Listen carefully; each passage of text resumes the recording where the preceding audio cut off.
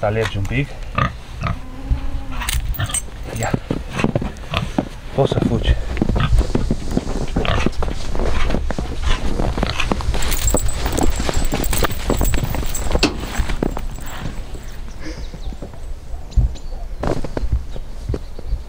Ce se întâmplă? Unde sunt?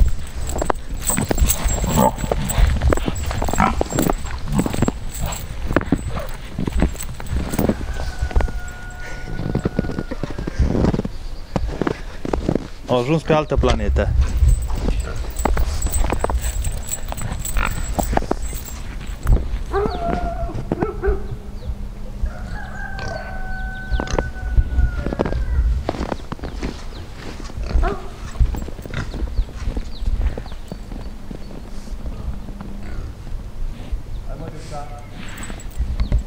Hai, fetița!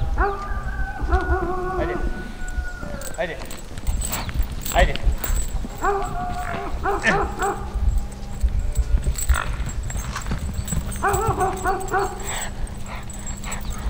Haide, haide, haide! N-ai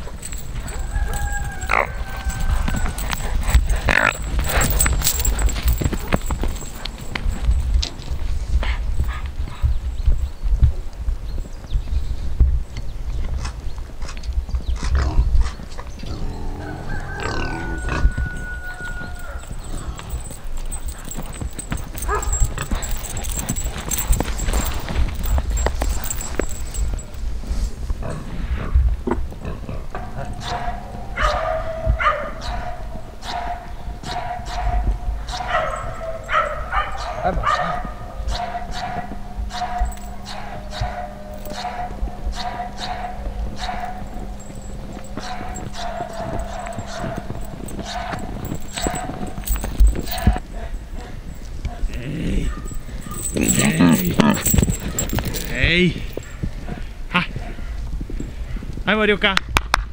Hai! Hai!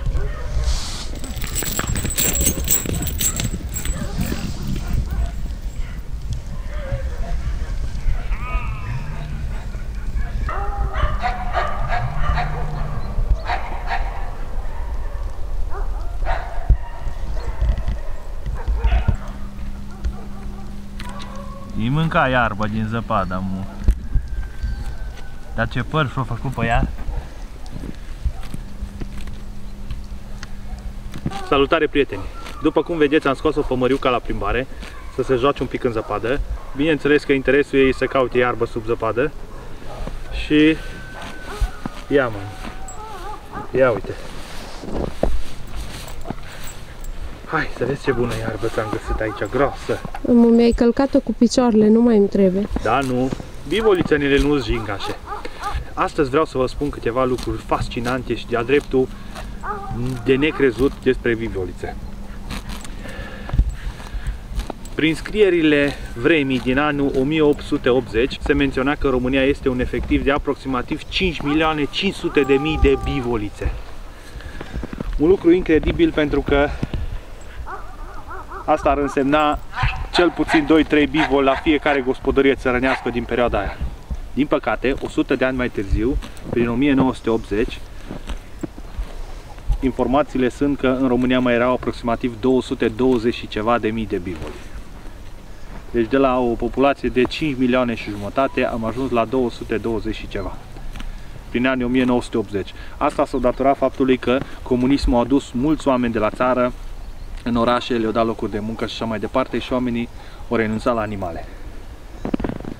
Însă creșterea bivolilor din punctul nostru de vedere face foarte mult sens datorită faptului că bivolul îți dă un lapte foarte gras și sănătos, foarte gustos și hrănitor. Uh, e un animal foarte puternic care poate fi folosit și ca animal de povară la muncile gospodăriei și un animal sănătos care nu se îmbolnăvește. Foarte rar bivolul are probleme de sănătate.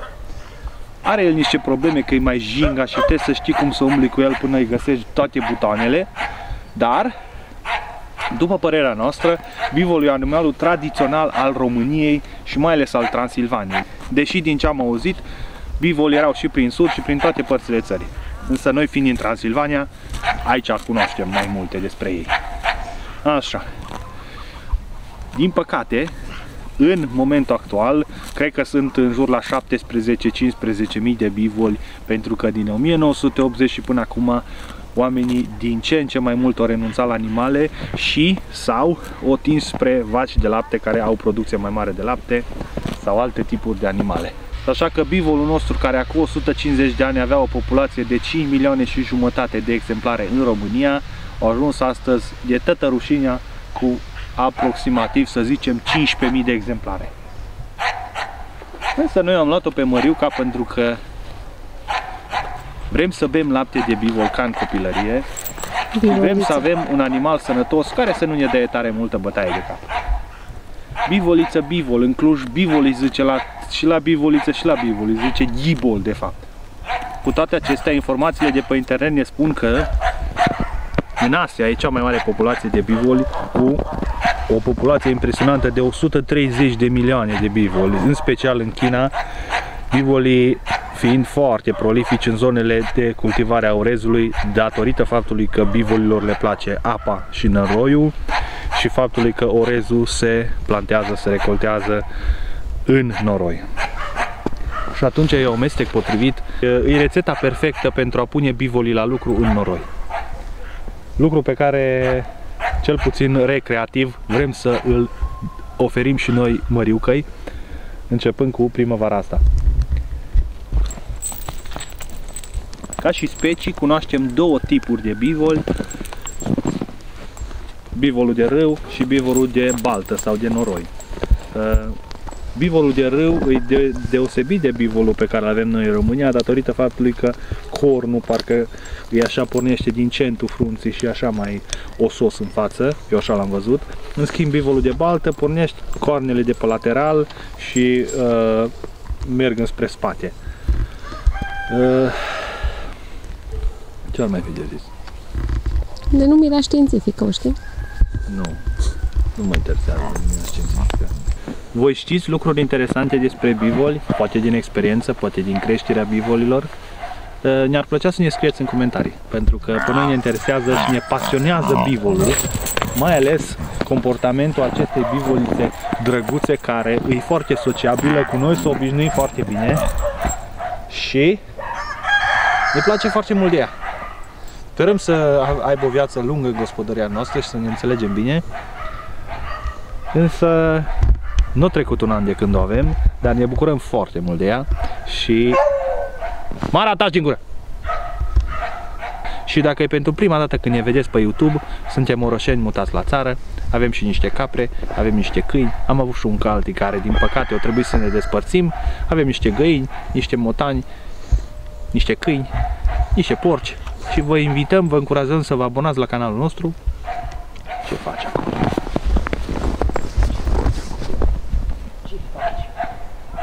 treaba ai cu mușuroiul ăsta? Mă, nu mânca pământ, amor.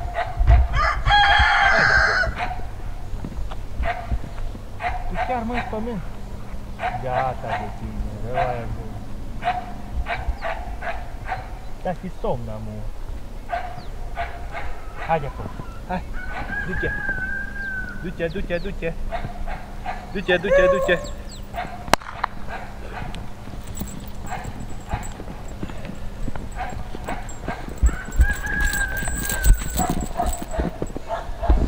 Foarte interesant lucru că încă mai există bivoli sălbatici prin Nepal, însă în zone foarte restrânse și în arii protejate în Nepal, însă din ce știm noi, bivolii au fost aduși în Europa de către Alexandru Macedon prin secolul IV. Și de atunci, uite-te tu că românii au găsit întrebuințări pentru ei. Du-te de la pom, du-te de la pom. Au găsit întrebuințări, le bem laptele, le mâncăm carnea, care se aude că e foarte gustoasă. Îi punem la lucru și ne bucurăm de ei. Hai că văd că încep să te atingi de pom și uh, nu-mi place. Asta nu-mi place la tine. Hai. Da, bă.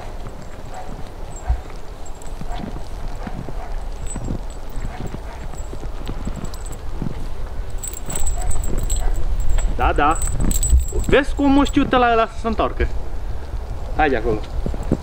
Nu mânca caisul la Andreea, că biata n-are tare mult caiși. Nu te mai las la pomi. Vezi că o încurci. Oameni buni, sperăm că v-a plăcut video de astăzi. Foarte important să ne dați un like, să distribuiți acest video dacă puteți, să ne scrieți părerile voastre în comentarii și de ce nu să vedeți acolo opțiunile de la butonul de alătură-te. Dacă aveți posibilitatea să ne susțineți activitatea pe YouTube, pe acest canal, pentru că de ce să nu spunem și partea aia altă, la cum a crescut prețul la nutreți, la cereale,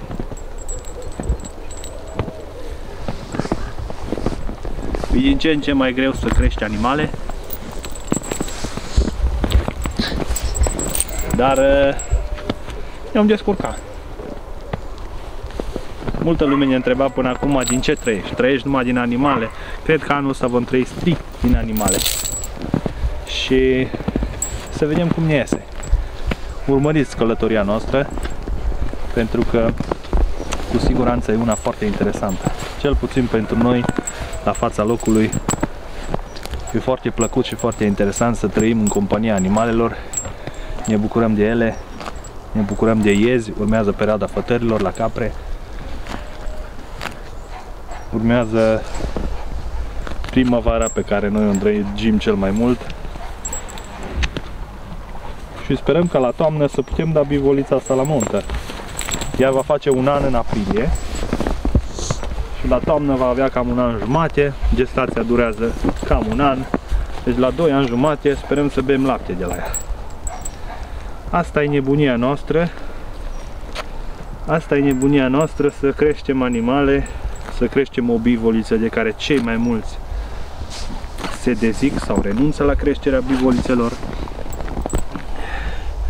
Însă pentru noi e mult mai important gustul și calitatea laptelui decât cantitatea pe care, de lapte pe care să zicem că o oferă o vacă. O bălțată românească sau ce alte soiuri mai sunt, nu mai vorbim de Holstein care dă 30-40 de litri la zi, o bivoliță poate că dă 7-8-10. Dar bivolițele sunt animale încă o dată, vă zic. Din punctul nostru de vedere, cel mai ușor de întreținut animal e animalul care nu e sensibil. Pentru că avem pierderi ocazionale și la capre. Caprele nu sunt foarte sensibile, dar sunt relativ sensibile. Și cred că e un mare plus faptul că bivolii nu se îmbolnăvesc. Și nu sunt pretențioși.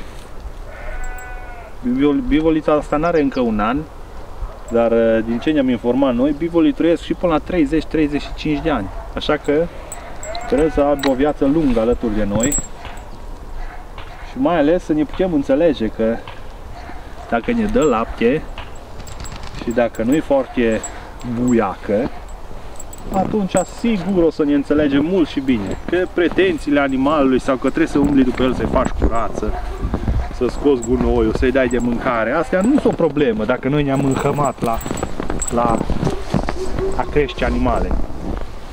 Singurul lucru care ne-ar putea schimba traiectoria ar fi dacă bivolița nu ne dă lapte nu se comportă cum trebuie să ne dea lapte sau dacă e violent. În rest, umblăm după ea, mai tragem de ea, o mai mutăm de aici acolo, îi dăm de mâncare, o îngrijim, dar neapărat trebuie să ne dea lapte. Asta e condiția. Când ne-a dat, când ne-a dat mai puțin sau mai mult, vom vedea. Sperăm să ne dea cât de mult. Sau cât de puțin, că dacă e mai puțin, e mai calitativ. No. Vă salut și ne vedem data viitoare.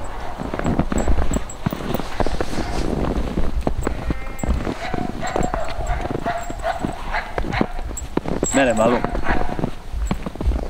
Nu pot de tine, că ai văzut iarbă, ha?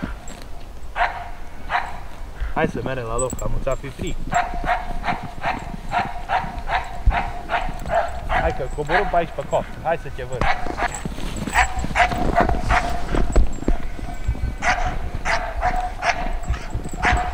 Hai mă, hai.